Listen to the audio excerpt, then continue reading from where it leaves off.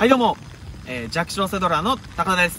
えー、今日はですね、ちょっと、えー、いつもと、えー、テイストがね、違う、えー、動画になってくるんですけど、ちょっと今雨も降ってて、はい、えー、になってるんですけども、まあ、今回ですね、ちょっと先に、えー、お話ししておくと、ちょっとね、あの、今回なんかリサーチ動画とか、なんか、セドリのノウハウの動画とか、えー、そういうものではありません。えー、それをですね、ちょっとね、あの、ご期待していた方は、本当申し訳ございません。はい。で、ちょっとね、何をお話ししていくのかっていうところなんですけど、まあ僕ですね、今ちょっと LINE アットの方でですね、視聴者さんから直接ですね、ご相談とかね、背取りの相談とか、えー、いただいてるんですけども、まあそんな中でですね、まあ僕ですね、やっぱ社畜から卒業したっていうね、えー、そこをね、ちょっとね、あのなんていうかその社畜から卒業したっていうところを、えー、ちょっと皆さんにね、結構ね、動画内でお伝えしていってるんですけども、やっぱその中で、あの、僕も社畜卒業したいんですけど、でも僕にはそれはちょっとできそうにないです、みたいな。それって高田さんだからできたんでしょみたいな。特殊なケースでしょ？みたいな。特別でしょ？みたいな。結構そういうことをね、おこと、あの、お声をいただいております。で、あのー、まあちょっと結論から言うと、そんなことは全くないと。えそこをですね、ちょっと皆さんにお伝えしたいなと思って、この動画ね、えー、ちょっと撮らせていただこうかなと思ってます。はい。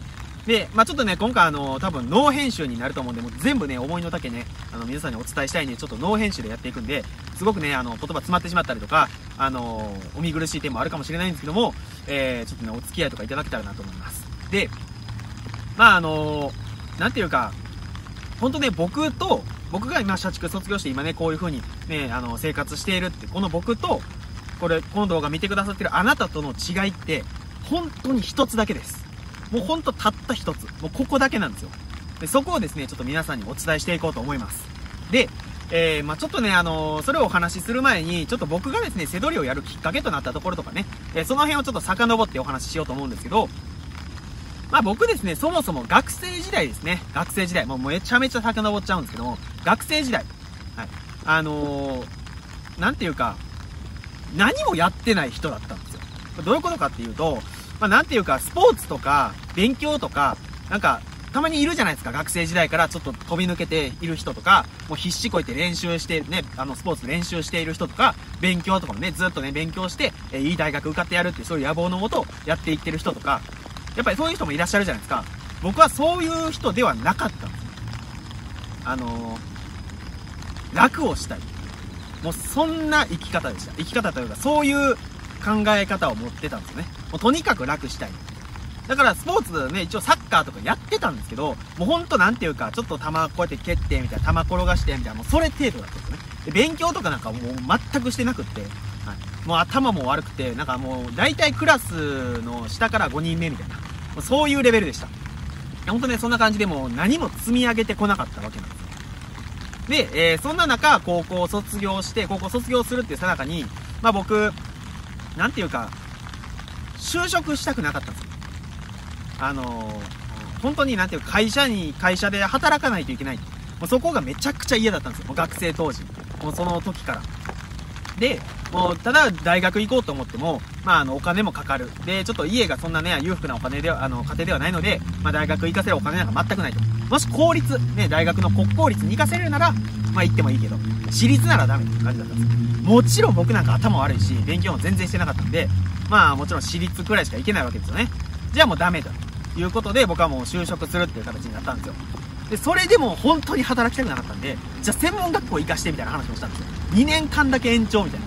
ゲーム作る専門学校に行こうかなっていう風にしてたんですけど、まあゲーム好きだったんですけど別に作るなんか興味なかったんですね。でも、まあとにかく働きたくなかったから、2年間だけ専門学校行かしてくれと。それもダメだったんですよ。で、それがダメっていう風になって、まあちょっと嫌すぎて、ちょっと一回家出とかもしたんですよ。もう本当に働くのどんだけ嫌なんだって話なんですけど、もう覚悟決めろよって話なんですけど、まあ今思ったらね、すごいダサいんですけど、まあそれくらいですね、まあ逃げて逃げて逃げまくってたんですよね。で、まああのもう、まあそれもやっぱり働かないといけないっていう風になって、まあもう高校卒業して就職するってなったんですよ。で、就職するときに、まあ、僕、その時、あの、設計をする仕事を選択したんですね。設計業みたいな。なんか聞こえだけ言うとなんかめっちゃ頭良さそうだな。難しそうだな仕事だなっていうところなんですけど、まあ、なんでそれを選択したかっていうと、座れそうだからです。これもまた楽したい。もうそれだけでした。で、えー、まあ実際就職したわけなんですけど、でもこれ皆さんちょっとね、想像してほしいんですけど、学生時代何にも気づいてこなかった人間。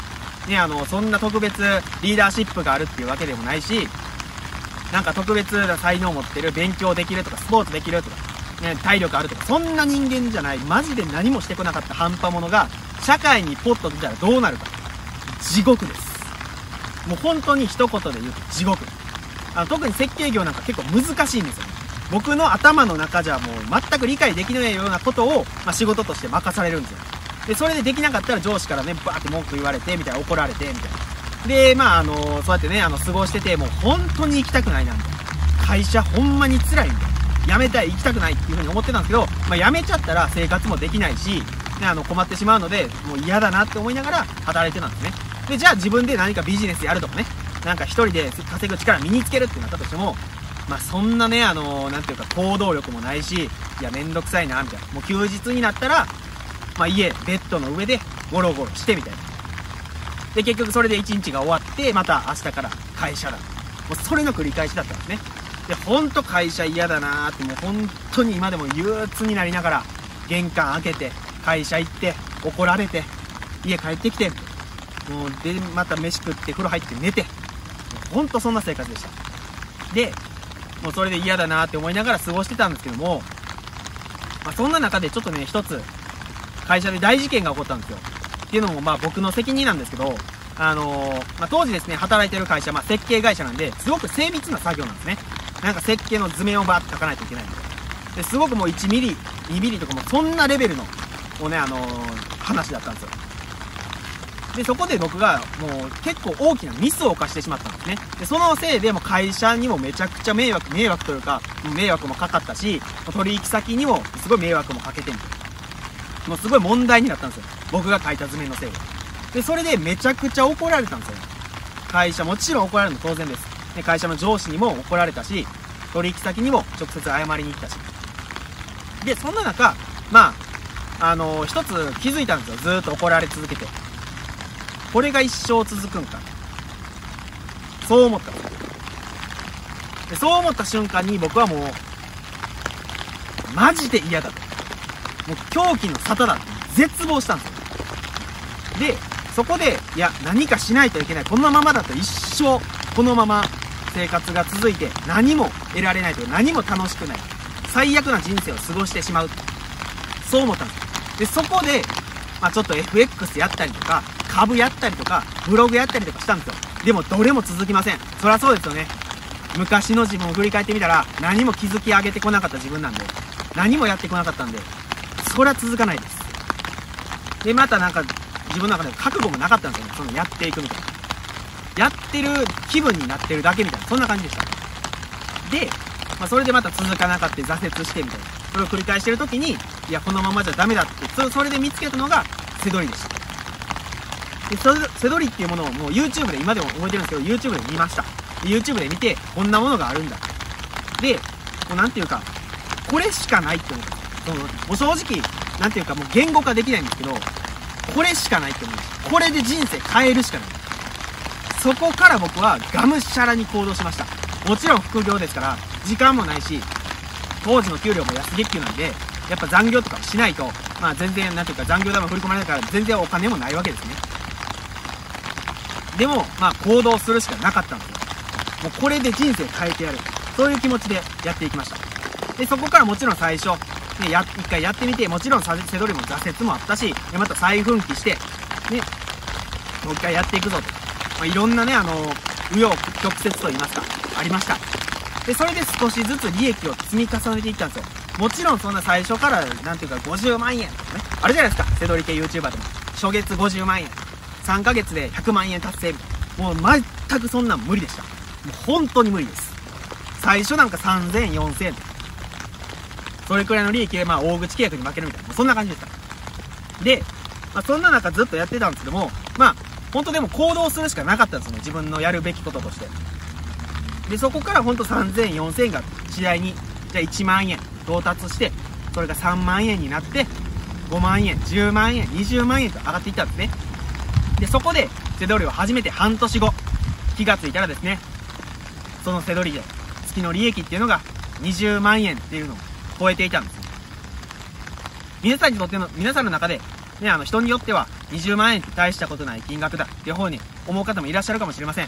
でも僕としては、めちゃくちゃ大きな20万円でした。誰にも依存せずに、自分一人の力で稼いだ20万円。もうとてつもなくでかかったです。で、そこでもう自分は決心して、もう背取りで生きていくんだっていう気持ちで、もう背取りを、えー、会社を辞めたんですね。で、そこからまあ今に至るわけなんですよ。だから本当に、まあなんていうか、か要するにまあ結構ね、あの、何が言いたいんだって話になってくるかもしれないんですけども、まあ、本当に皆さんにお伝えしたいことっていうのは、これ本当に、なんていうか僕と、この動画をここまで見ているあなたとの違い。これは何かっていうと、もう行動したかだけです。もうこれだけ。もう行動ができるかどうか。もうこれにつきます。本当に。なんか小手先のね、ノウハウとかね、なんかいろいろあります。背取り、背取りの動画見てたらいろんなね、手法ってあるじゃないですか。いろいろあるんですけども、そもそも根本として行動をするっていうことをしないといけないんですよ。で、なんていうか、まあ、あの、行動しないといけないわけなんですけど、ただ行動できない理由もですね、様々あります。いろいろあります。もうめっちゃ気持ちわかります。例えば、ね、あの、できない理由を探してしまう。もう僕もこれめっちゃありました。もう特に僕の人生これがかなり大きかったです。何かやろうと思っても、いや、ちょっと時間ないし、何かやろうと思っても、めんどくさいし、あるじゃないですか。できない理由を探してしまう。でも、正直、できない理由なんて、実はないんですよ。そんなものないんですね。時間がない、お金がない。それは全部理由になりません。言い訳にしかならないんですよ。僕もそうでした。そんな風にずっと逃げ続けたんですね。だからできない理由って本当ないんですよ、あと、他で言うと、あのー、なんていうか、まあ、僕がよくあったのが、あのー、今でも思い出すんですけど、周りの目が気になる。あると思います。僕もありました。やっぱり、あの、背取りを始めて、これで脱サラしてやるっていうふうに思って、周りに言っても、誰も耳を傾傾けてくれない。むしろ、馬鹿にされる。僕もね、友人とか家族とかに馬鹿にされました。そんなんできるわけないじゃん。そんなんやっても無駄だろみたいな。そういうのめちゃくちゃ言われてきました。でも、本当に、マジでこれ、言えるんですけど、周りの目なんかどうでもいいんですよ。これ見てください。僕今。ね、もう公園、夜中の公園ですよ。でも、なんていうかもうこの傘もささずに、ね、こうやってもうやっているわけなんですね。もう本当にこれくらい周りの目なんかどうでもいいです。自分が何をしたいかっていうのが一番重要なんですよ。僕はこの、これを皆さんに伝えたいんですよ。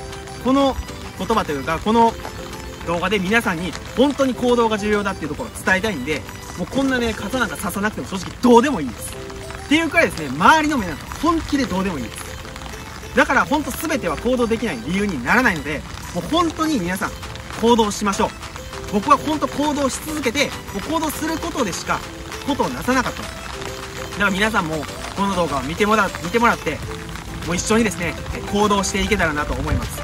行動していくことで、やっぱりですね、なんていうか、まあ、身が結んで自分に返ってくるわけですね。